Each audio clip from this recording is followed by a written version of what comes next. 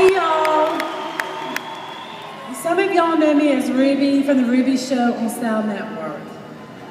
My friends and myself know me as 700 pounds, 600 pounds, 500 pounds, 400 pounds, and now 300 pounds.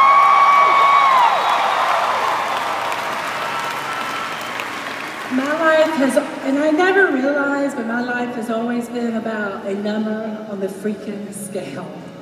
I've always been the way, but nobody saw me. You don't see me. None of y'all saw Ruby at 700 pounds. People see disgust. They see lazy. They see glutton, gross. You don't see us. People laugh at us, make fun of us, but we're real, we're human that got stuck in an addiction and we don't even know how. But we're a walking billboard. When other people have addictions, they can hide it, we can't hide ours.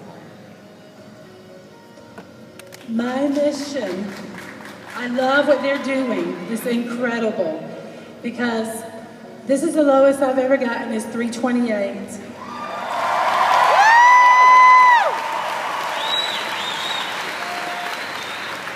And I'm finding out who Ruby is without the weight. She's a human being, and I'm realizing that. And I want y'all to realize that when y'all share a story like mine, that you're going to impact so many people because look at me, and I mean look at me. Because really, I am the face of obesity.